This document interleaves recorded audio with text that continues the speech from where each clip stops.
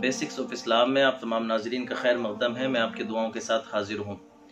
और आज का जो उनवान है मौजू सुखन है, वो है फिंगरप्रिंट उंगलियों के ये निशानात। इसको मैंने क्यों उनवान बनाया है? आज टेक्नोलॉजी की तरक्याँ इतनी ज़्यादा हैं टेक्निकल तरक्याँ इतनी ज़्यादा हो गई हैं कि आज हर बंदे की पहचान उसके फिंगरप्रिंट से है।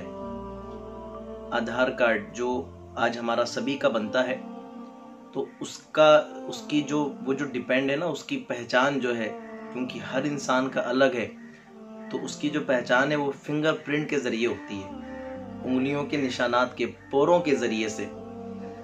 और इसको यकीनन एक बड़ी टेक्निकल तरक्की भी समझा जाता है, बहुत बड़ी टेक्नोलॉजी में इसका शुमार है।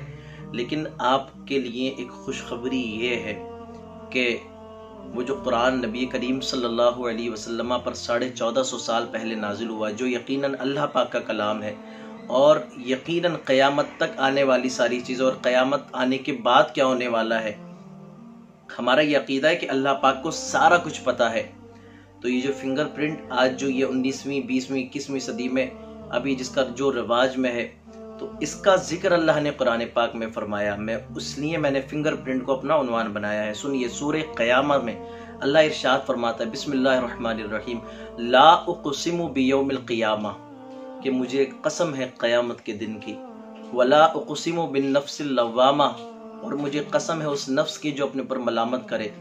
अयहसबुल इंसानु अल्लन नजमा इज़ामा क्या इंसान ये समझता है कि हम हरगी उसकी जो हड्डियाँ जमा नहीं फरमाएँगे।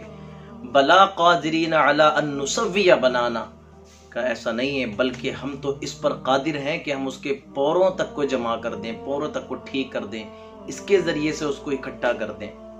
अब आप देखें, ये जो फिंगरप्रिंट है, यहाँ पर हम अपनी फिंगर का प्रिंट देते हैं, उसके बाद हमारा बायोडेटा निकल कर आता है, हमारे आधार कार्ड की इंफॉर्मेशन निकल के आती है कि हम कहाँ से बिलोंग करते हैं, हमारा पूरा नाम क्या है सनूफ क्या है, और हमारा एड्रेस क्या है, उस पर सारा निकल के आता है।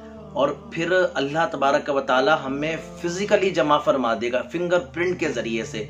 तो जिस फिंगरप्रिंट को अभी टेक्नोलॉजी की दुनिया में एक बड़ी इज़्ज़त मिली है, और एक बड़ी तरक्की का ज़रिया इसको समझा गया, इसका ज़िक्र हमारे लिए अल्लाह पाक ने साढ़े चौदह सौ साल पहले कर दिया।